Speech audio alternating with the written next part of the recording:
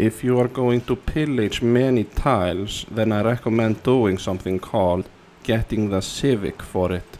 There is a civic that increases the yields of pillaging by 50%. So you will get a lot more stuff when still breaking the tiles.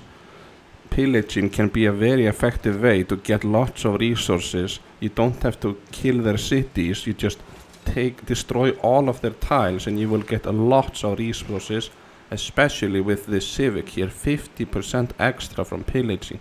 So if you're going to pillage somebody make sure you have the 50% extra pillaging civic enabled